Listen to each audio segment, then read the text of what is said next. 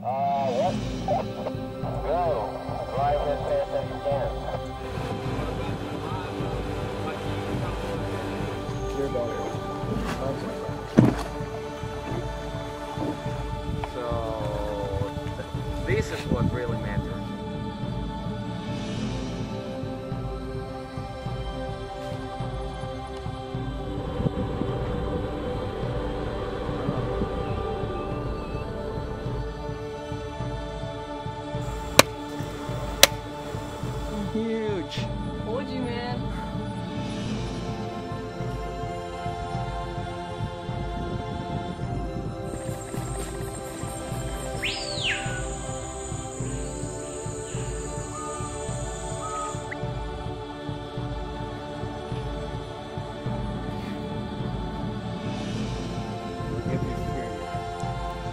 Here.